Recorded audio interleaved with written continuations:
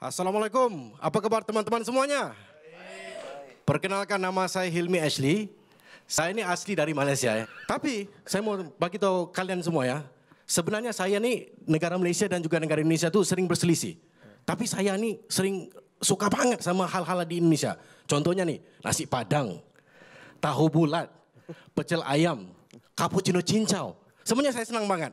Dan saya juga suka lagu-lagu di Indonesia. Musisi-musisi Indonesia tuh favorite saya.